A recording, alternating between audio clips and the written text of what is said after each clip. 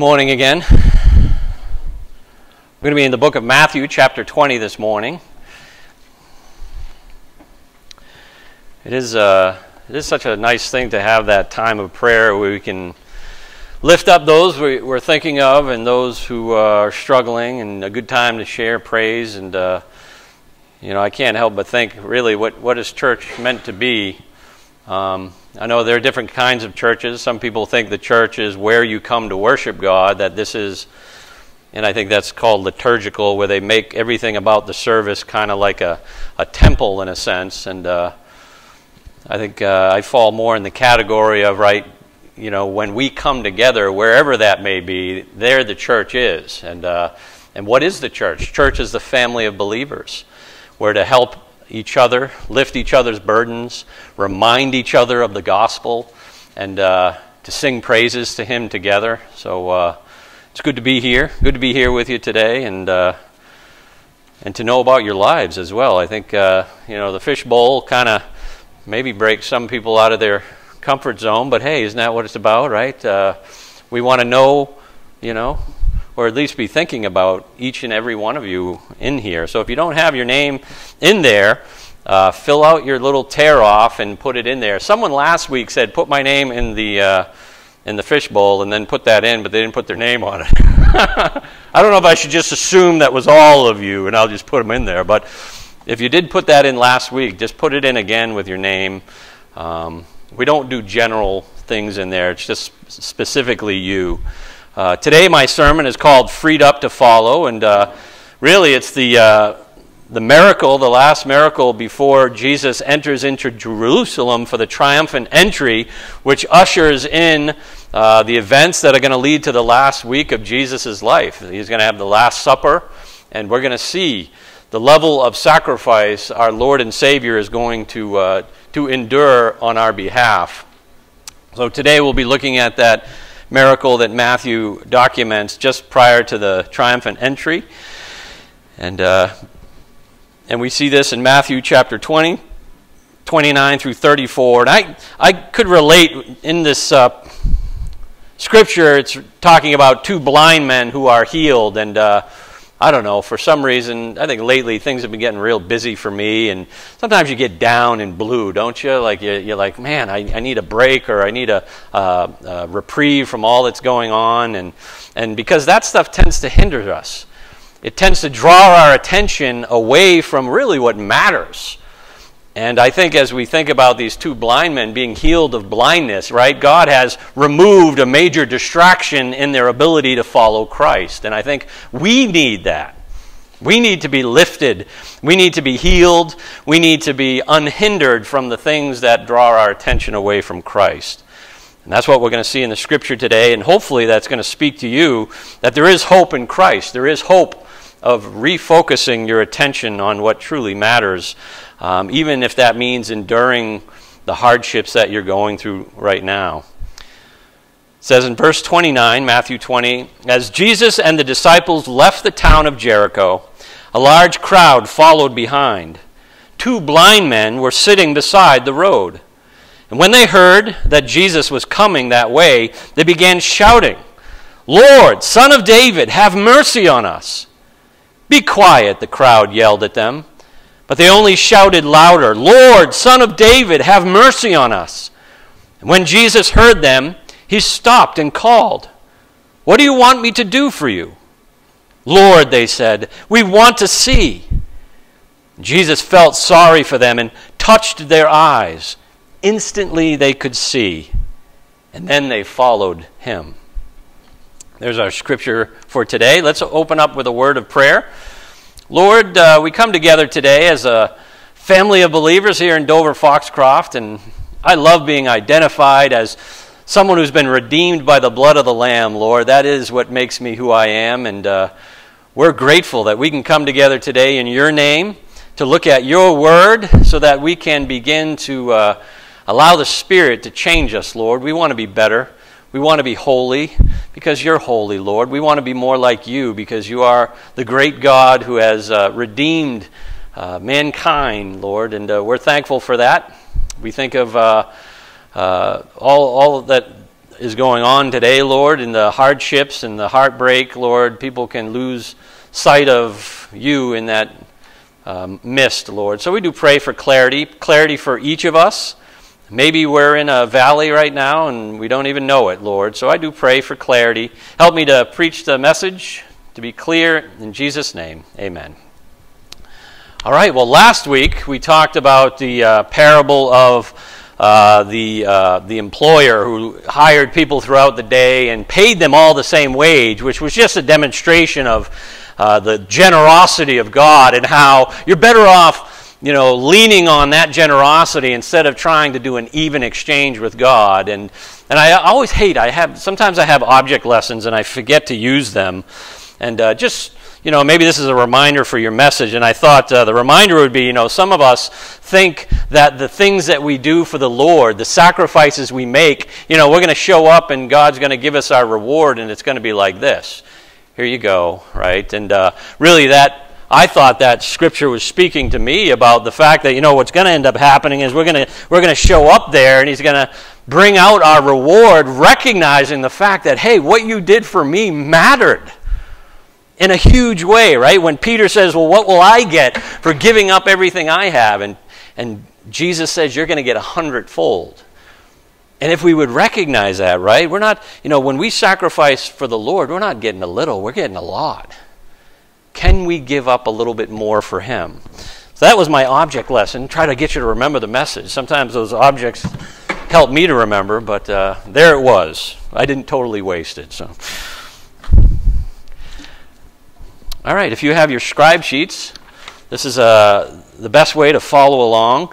And my main idea for today is uh, a healed soul makes greater room for Christ in your life. A healed soul makes greater room for Christ in your life. And there are many forms of healing, right? Here we're seeing two men who were blind, right? And, and obviously they're together. They're finding probably some comfort in being with someone that has the same ailment. And, and they're, they have a hardship, right? We can't even imagine, right? I know there's no one here that's blind, but uh, to lose your sight must be traumatic. But as I think about it, as I think about the hardships that they're going through, I definitely think there are many forms of blindness among us, aren't they? we can lose our sight. We can lose our vision of what Christ should mean in our own lives. We get caught up in whatever it is that we're consumed with, and it becomes like blinders. And it draws us away from Him. So that's my thought process as I was looking at the scripture today. These two blind men spoke to me.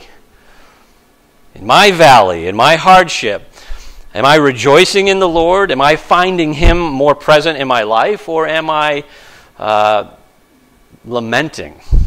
Am I groveling? Am I losing sight of uh, the, the treasure that we have in Christ? So, that first point on the scribe sheet uh, really is pertaining to the first verse, right? Uh, the first couple verses there. Jesus and his disciples are headed to the town of Jericho. And uh, I think one of the, the great uh, elements here. Uh, Jericho here. So this is a large town about eight miles west of the Jordan. And uh, it's about 19 miles northeast from Jerusalem. This is where Jesus is headed to Jerusalem. And this is near to the city the Israelites crossed uh, when they entered into the land of Canaan. So, as you remember, when Jesus, uh, when Jesus, when God took the Israelites out of Egypt and brought them through the desert, they came into Israel, came into that promised land through uh, Jordan. It was the first city taken by Joshua, uh, and it was destroyed by the, the, uh, at the foundation. Right? You remember the uh, the amazing miracle of going around the city seven times, right, and and blowing their trumpets and yelling, and the walls come collapsing down. And uh, here Jesus is going through this town and and comes upon these two blind men. He's going to perform a miracle. And what does a miracle do, right? It definitely brings validity to his authority, to his power, and to his identity. Um, and, it's, and it, it seems like a right way in which to begin entering into Jerusalem.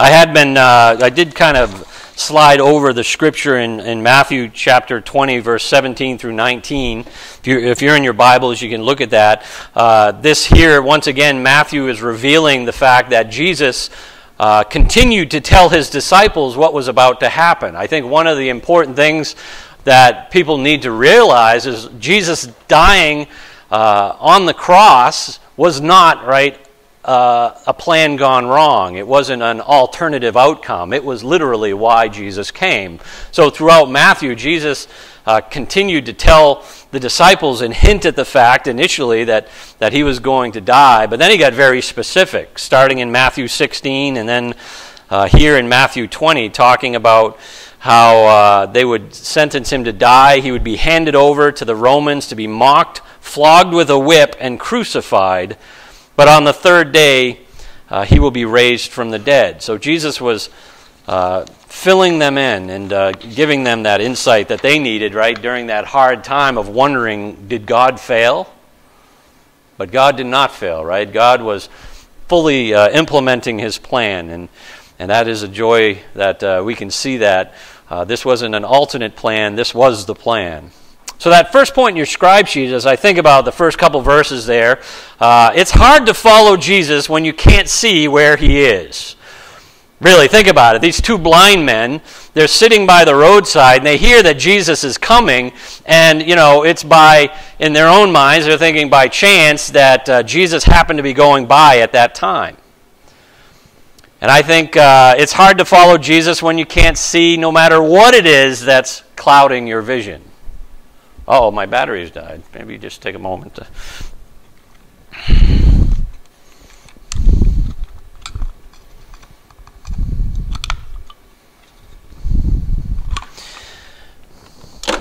I hate to say it, I think I'm just too cheap to, to change them on a regular basis. We should just ride it out until they die, right?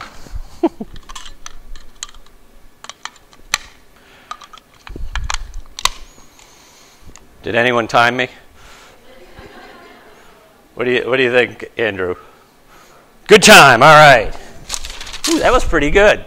All right. Well, uh, it's bound to happen. I hate to change them too often. Batteries are expensive these days, aren't they? Ooh, buy a nine volt. Forget about it.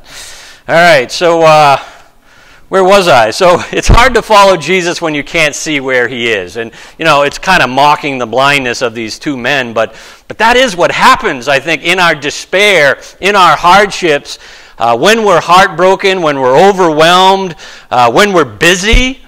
It's a form of blindness. And we forget the fact that we are redeemed people. We're the you know, people of God to be living out our lives as his people um, and we should have a certain attitude about that.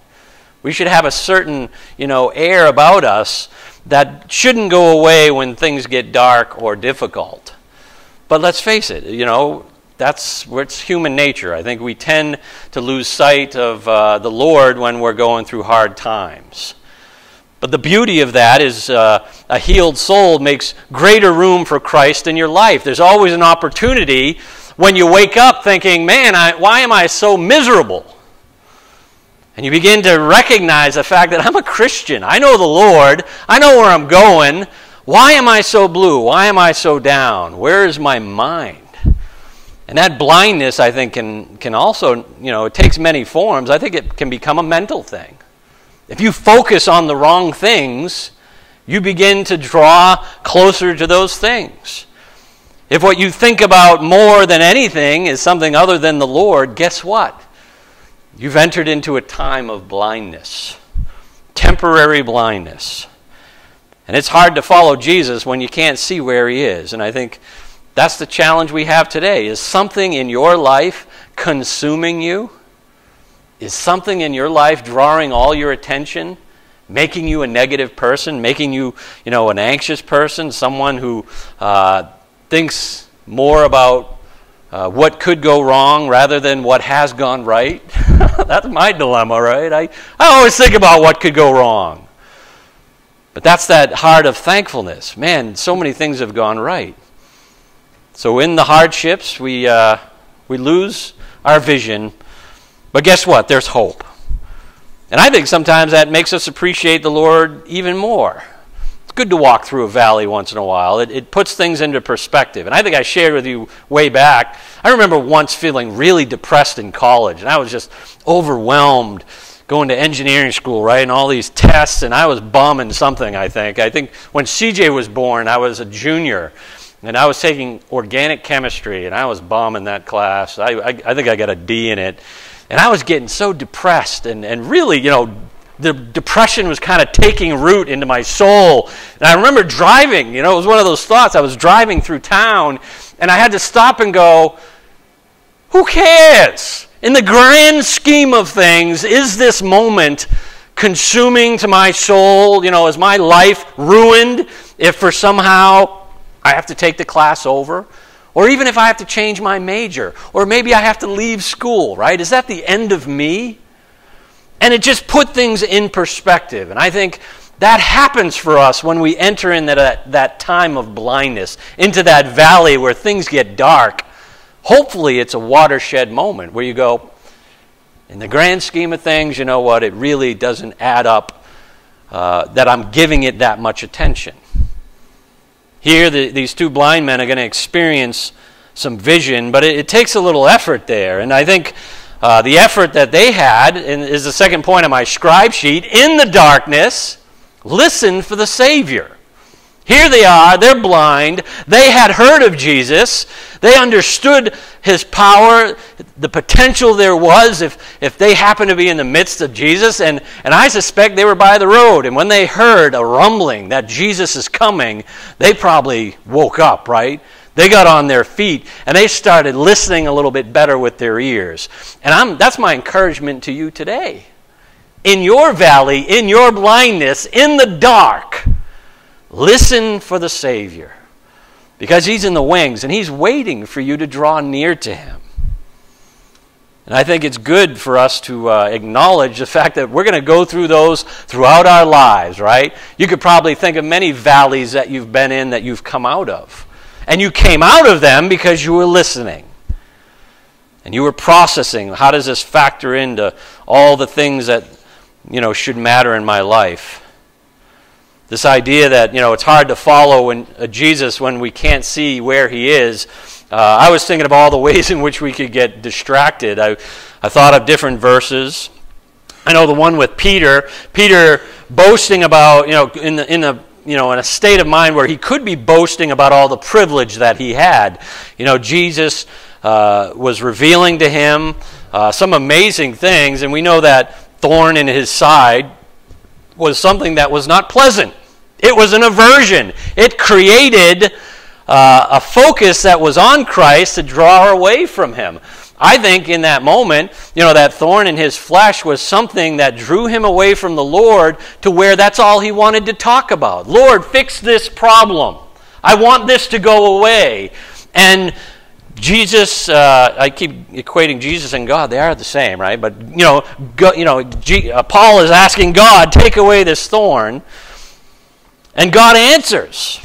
And I think it's the same answer for you and me. Whatever it is that you're you know, focused on fully, asking God to take away from, maybe it's something that you need to just let go of and accept. I think that was the answer to Paul.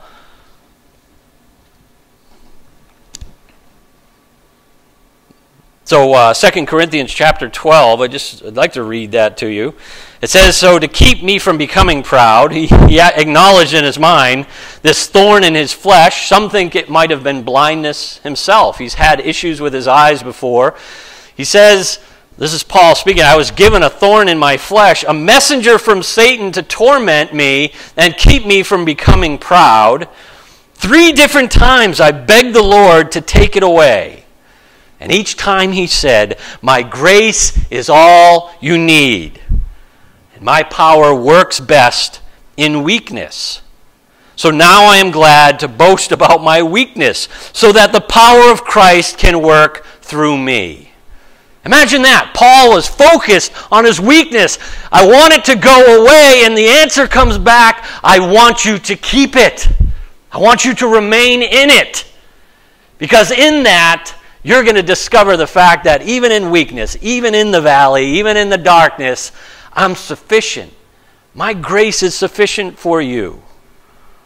So maybe part of the blindness is that you have is the fact that you don't like discomfort. You don't like imperfection in your life, and you're so focused on trying to get everything lined up. But maybe the answer is you just have to get used to living in the chaos. And I think, you know, most people who have lots of children understand that, right? Uh, I remember when our, my kids were all little and I, I wanted a house that was nice and organized and, and uh, it was chaotic constantly. I had to come to terms with the fact that my house was never going to be neat again. I came to terms with the chaos so that I could focus on my walk with the Lord. Because I was going to go bananas, right? I was going to get mad at my wife. I was going to get mad at everything. I had to just kind of throw up my hands and go, you know what? It's my life now, and I got to live it. Maybe you're in that same circumstance where something's just not right. You'd like it to be right. You're so focused on it being right, and it's become a blindness to you. You've lost your joy in the Lord. So, my encouragement be healed. Heal yourself by saying, you know what? God has me going through this at this time, and I need to be okay with it. I think other, uh, you know, things that keep us from seeing the Lord. Excessive aspirations, right? Wanting lots of things. That's somehow times how we get so busy. We want too much. We want to do too much. I want to do everything. If you could only see my house, it's strewn with all these began projects or ideas and all the equipment I need for them. I'm, and I get that's one, one of my moments of blueness is where I, I just sit in my pile of incomplete projects and think I'm miserable. When do I get free from that? I start thinking I want to buy a camp and I could move into the camp and leave all that stuff behind. Anyone ever think like that? Maybe it's just me. You're supposed to say amen. You got your own problems, and I know that. My problems, right? I try to do too much. Uh, I don't do the necessary work to clean up areas, right? I just move to another area to make it mess, and then all of a sudden I'm in a, you know, a, a mess all around me. And I begin to lose sight of why I'm here. I'm not here to get all those things done. I'm here to be a representative of God. Excessive aspirations, right? Jesus says in Matthew 6, wherever your treasure is, there the desires of your heart will be also. What is it you love so much that you keep pursuing? And should you be pursuing it more than you pursue the Lord? Jesus says, the eye is a lamp that provides light for your body. When your eye is good, your whole body is filled with light. But when your eye is bad, your whole body is filled with darkness. And the light you think you have is actually darkness. How deep that darkness is. Isn't that exactly what I'm talking about? Here it's saying you're blind. You have a treasure more than the treasure of the kingdom of heaven. You think you can see, but you're in darkness. You need to be healed so that you can follow me. And he says, verse 24, that Matthew 6, no one can serve two masters, for you will hate one and love the other. You will be devoted to one and despise the other. You got to let go. Whatever it is that's consuming you, move past it, accept its presence, and focus on Christ. And that is healing, I think. For you to go through that mental exercise of, you know what? I'm going to just accept the chaos and rejoice in the Lord. A healed soul makes greater room for Christ in your life. And that healing sometimes comes in the form of priorities. I think uh, Matthew 6 goes on, talks about how, you know, the cure for anxiety. The New Living Translation calls the heading for that section is the cure for anxiety. And I got my that got my attention. A cure for anxiety. And that's the one where he says, Stop worrying about tomorrow. It's got enough problems of its own. Seek first the kingdom of heaven. And really, isn't he calling out to the blind person?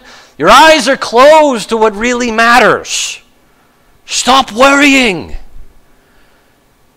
says if God cares so wonderfully for the wildflowers, that are here today and thrown into the fire tomorrow, He certainly cares for you. Why do you have so little faith? Stop worrying. It's a form of blindness. And until you're healed from that, you're never going to see the Lord in the way that you could be. So, in the darkness, listen for the Savior. That's the second point. I wanted to read Psalm 88, but I'm so long winded. Why don't you just write down Psalm 88? It's such a, it's the most depressing psalm. I read through it. And uh, man, he talk about having a pity party and in the valley, you know, an example of someone who was experienced great hardship. But the beauty is, he says, Oh Lord, I cry out to you. I keep on pleading day by day. Psalm 88, verse 13. So, in the midst of the hardship, he hadn't lost hope. He regained his focus and was crying out to the Lord. The third point, I think, is uh, I see as we go on, right? The two blind men, Matthew 20, they cry out to Jesus, and they know who Jesus is, and they've accepted it, right? They're trusting in Jesus as that promised Redeemer. And we know that because the title that they shout out is Lord, Son of David. That's a messianic title. They're saying, You're the Messiah, the anointed one, the one promised by God that brings hope to Israel. We acknowledge that, and I need hope. I need some help.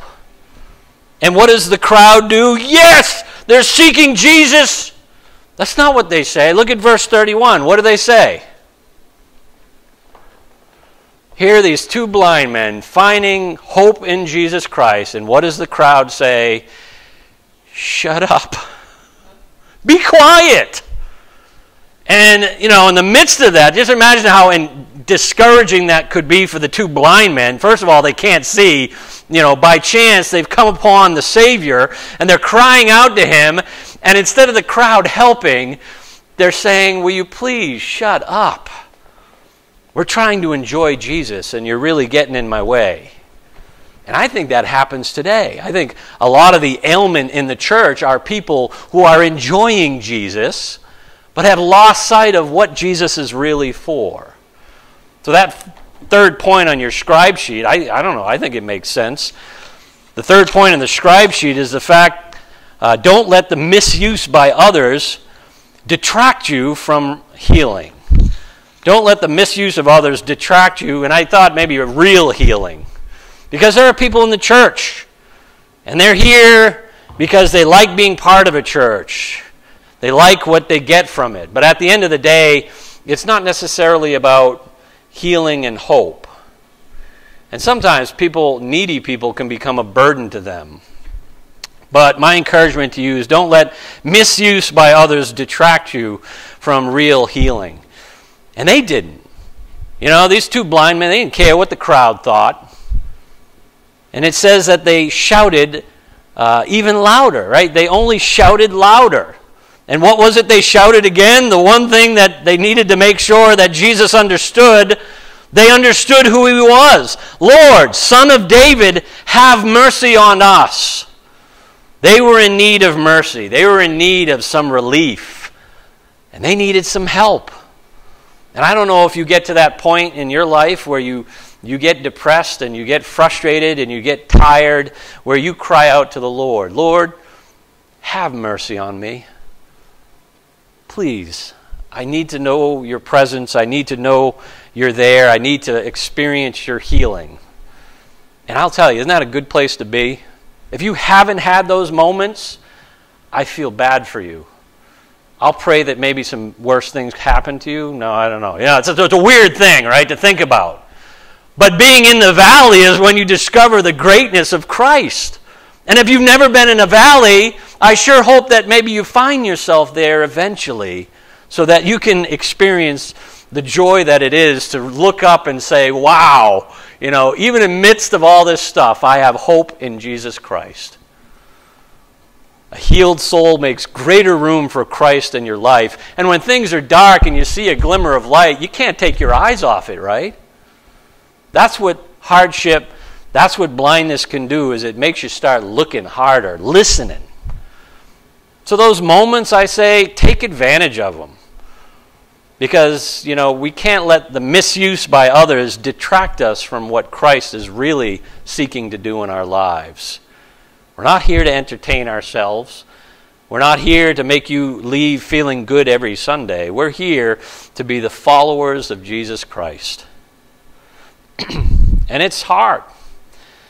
I uh, someone posted on Facebook, I think yesterday, just an interesting uh, talking about uh, survey by George Barna. Right, they do these surveys, and he says, uh, "What constitutes a biblical worldview?"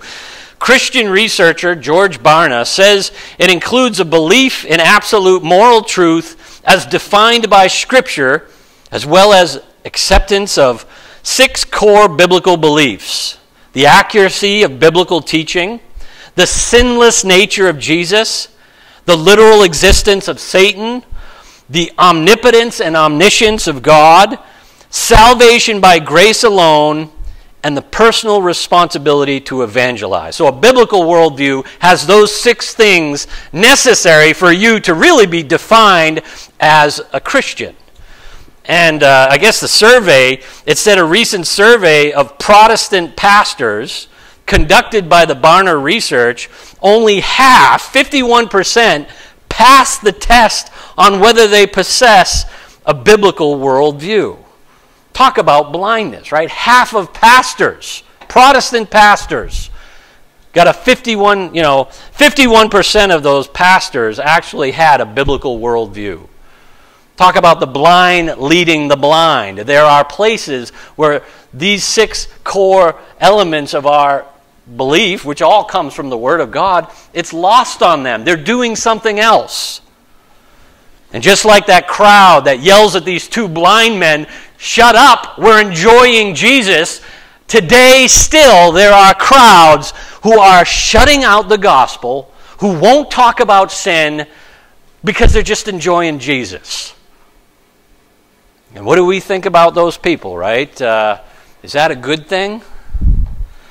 Goes on to say, uh, the, it, on, it went on to share some other um, things. It says, of the pastors surveyed, Southern Baptists scored the highest with 71%. So 71% of Southern Baptists were Orthodox Christians. The United Methodists finished at the bottom with just 27%. In between were 57% of pastors of Baptist churches other than Southern Baptist. 51% of pastors of non denominational Protestant churches, 51%. 44% of pastors of charismatic or Pentecostal churches. 35% of pastors of, uh, or excuse me, 28% of pastors of leading mainline denominations.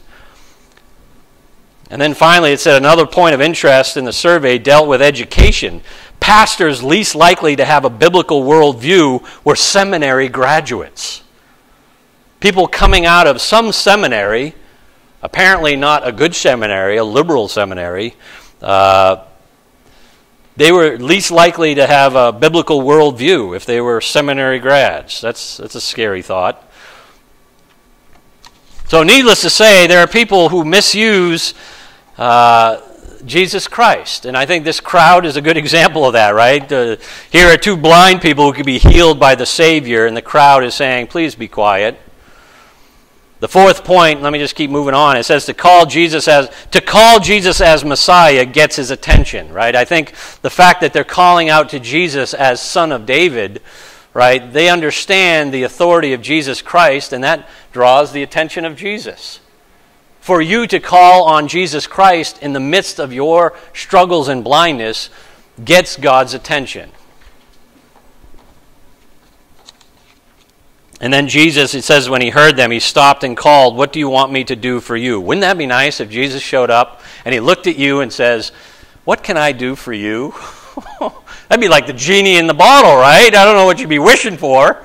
Hopefully, you wouldn't be embarrassing yourself with some poor choice, right? I want to win the mega bucks. Jesus would probably just look at you and go, You know, go back and read this again. I think you're missing something there.